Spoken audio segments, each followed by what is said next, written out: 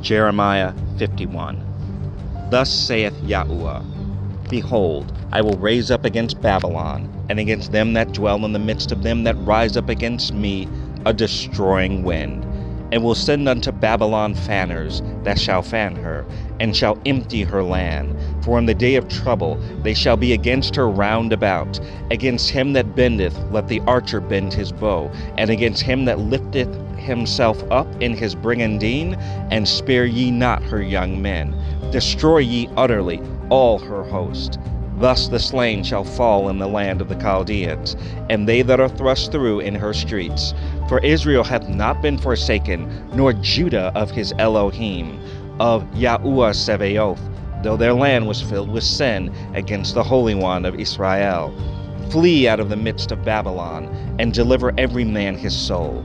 Be not cut off in her iniquity, for this is the time of Yahuwah's vengeance. He will render unto her a recompense. Babylon hath been a golden cup in Yahuwah's hand, that made all the earth drunken. The nations have drunken of her wine, therefore the nations are mad. Babylon is suddenly fallen and destroyed. Howl for her, take balm for her pain, if so be she may be healed. We would have healed Babylon, but she is not healed. Forsake her, and let us go every one into his own country. For her judgment reacheth unto heaven, and is lifted up even to the skies. Yahuwah hath brought forth our righteousness. Come, and let us declare in Zion the work of Yahuwah our Elohim. Make bright the arrows, gather the shields. Yahuwah hath raised up the spirit of the kings of the Medes, for his device is against Babylon to destroy it, because it is the vengeance of Yahuwah, the vengeance of his temple. Set up the standard upon the walls of Babylon. Make the watch strong. Set up the watchmen. Prepare the ambushes. For Yahuwah hath both devised and done that which he spake against the inhabitants of Babylon. O thou that dwellest upon many waters, abundant in treasures, thine end is come, and the measure of thy covetousness. Yahuwah Sebaoth has sworn by himself, saying, Surely I will fill thee with men as with caterpillars, and they shall lift up a shout against thee. He hath made the earth by his power, he hath established the world by his wisdom, and hath stretched out the heaven by his understanding. When he uttereth his voice, there is a multitude of waters in the heavens. And he causeth the vapors to ascend from the ends of the earth.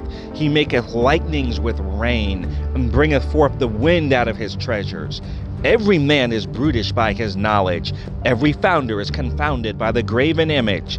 For his molten image is falsehood, and there is no breath in them. They are vanity, the work of errors. In the time of their visitation, they shall perish. The portion of Jacob is not like them, for he is the former of all things, and Israel is the rod of his inheritance. Yahuwah Sebaoth is his name. Thou art my battle axe and weapons of war. For with thee will I break in pieces the nations, and with thee will I destroy kingdoms, and with thee will I break in pieces the horse and his rider, and with thee will I break in pieces the chariot and his rider. With thee also will I break in pieces man and woman, and with thee will I break in pieces old and young, and with thee will I break in pieces the young man and the maid. I will also break in pieces with thee the shepherd and his flock, and with thee will I break in pieces the husbandman and his yoke of oxen, and with thee will I break in pieces captains and rulers, and I will render unto Babylon and to all the inhabitants of Chaldea all their evil that they have done in Zion. In your sight, saith Yahuwah. Behold, I am against thee, O destroying mountain, saith Yahuwah, which destroyest all the earth. And I will stretch out mine hand upon thee, and roll thee down from the rocks, and will make thee a burnt mountain. And they shall not take of thee a stone for a corner, nor a stone for foundations, but thou shalt be desolate forever, saith Yahuwah. Set ye up a standard in the land, blow the trumpet among the nations. Prepare the nations against her. Call together against her the kingdoms of Ararat, Minni, and Ashkenaz. Appoint a captain against her. Cause the hoists to come up as the rough caterpillars. Prepare against her the nations with the kings of the Medes the captains thereof, and all the rulers thereof, and all the land of his dominion. And the land shall tremble and sorrow, for every purpose of Yahuwah shall be performed against Babylon, to make the land of Babylon a desolation without an inhabitant. The mighty men of Babylon have forborne to fight. They have remained in their holds. Their might hath failed. They became as women. They have burned her dwelling places. Her bars are broken.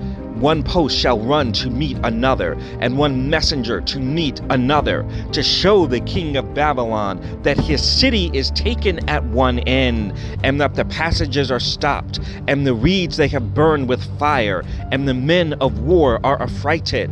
For thus saith Yahuwah Sevaoth, the Elohim of Israel. The daughter of Babylon is like a threshing floor. It is time to thresh her. Yet a little while, and the time of her harvest shall come. Nebuchadrezzar the king of Babylon hath devoured me. He hath crushed me. He hath made me an empty vessel. He hath swallowed me up like a dragon. He hath filled his belly with my delicates. He hath cast me out. The violence done to me and to my flesh be upon Babylon, shall the inhabitant of Zion say, and my blood upon the inhabitants of Chaldea, shall Jerusalem say. Therefore, thus saith Yahuwah Behold, I will plead thy cause and take vengeance for thee, and I will dry up her sea and make her springs dry.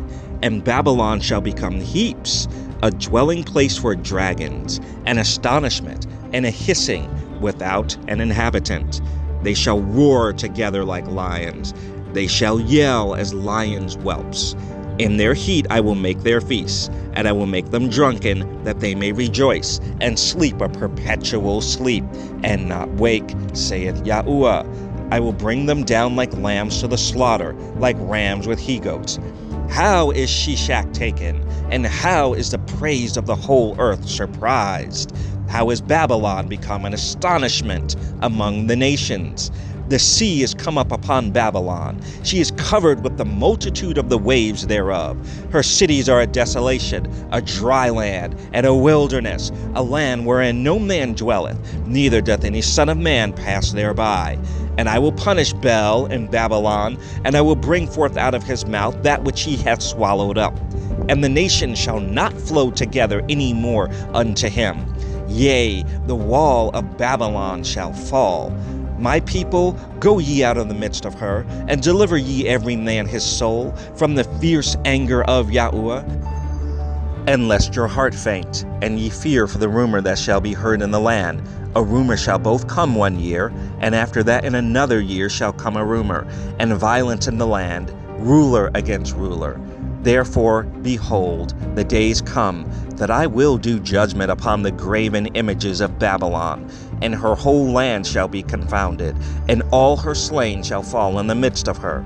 Then the heaven and the earth and all that is therein shall sing for Babylon, for the spoilers shall come unto her from the north, saith Yahuwah. As Babylon hath caused the slain of Israel to fall, so at Babylon shall fall the slain of all the earth. Ye that have escaped the sword, go away, stand not still. Remember Yahuwah afar off, and let Jerusalem come into your mind. We are confounded because we have heard reproach. Shame hath covered our faces. For strangers are come into the sanctuaries of Yahuwah's house. Wherefore, behold, the days come, saith Yahuwah, that I will do judgment upon her graven images, and through all her land the wounded shall groan. Though Babylon shall mount up to heaven, and though she should fortify the height of her strength, yet from me shall spoilers come unto her, saith Yahuwah. A sound of a cry cometh from Babylon, and great destruction from the land of the Chaldeans. Because Yahuwah has spoiled Babylon, and destroyed out of her the great voice, when her waves do roar like great waters, a noise of their voice is uttered, because the spoilers come upon her, even upon Babylon. And her mighty men are taken. Every one of their bows is broken. For Yahuwah Elohim of recompenses shall surely requite, and I will make drunk her princes, and her wise men, her captains, and her rulers, and her mighty men, and they shall sleep a perpetual sleep, and not wake, saith the King, whose name is Yahuwah Sevaoth. Thus saith Yahuwah Sevaoth, the broad walls of Babylon shall be utterly broken, and her high gate shall be burned with fire.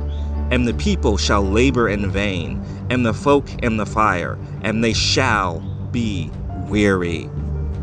The word which Jeremiah the prophet commanded Seraiah the son of Neriah, the son of Maaseiah, when he went with Zedekiah the king of Judah into Babylon in the fourth year of his reign.